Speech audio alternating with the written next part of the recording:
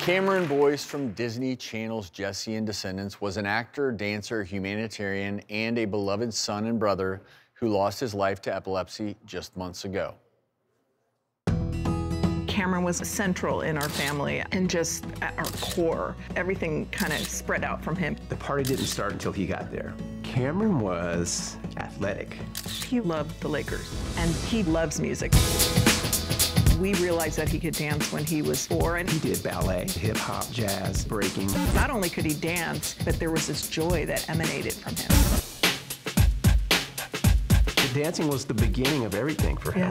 Jessie, you ruined everything. Okay, people have got to stop saying that when I enter a room. When Cameron was first cast in Jessie, people would tell me, wow, that's your son? That's my favorite character on that show. So it was really life-changing for us. People were really drawn to him. And we used to call it the cutimus ray because he would shoot him with the cutimus ray.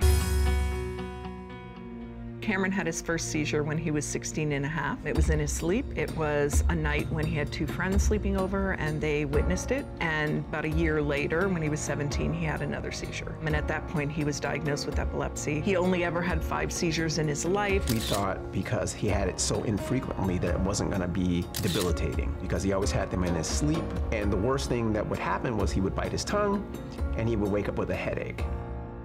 On July 5th, Cameron, Maya, my daughter, Libby, and I went to dinner. We were sitting outside joking and laughing like we always do. It was just a really fun night. So dinner was over. I said, I love you, son.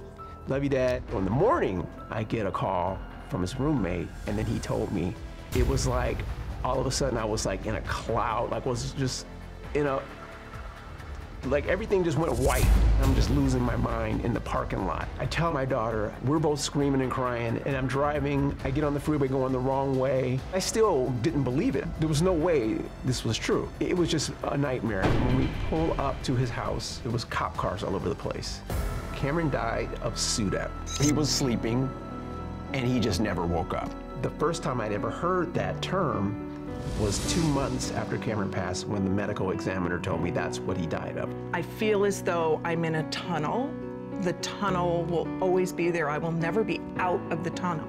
So if people say, you come out the other side, you do not come out the other side from this kind of a loss, ever. I'm not supposed to outlive my son. There's one picture in particular, his high school senior picture. That picture just rips me apart. There's something about the look on his face.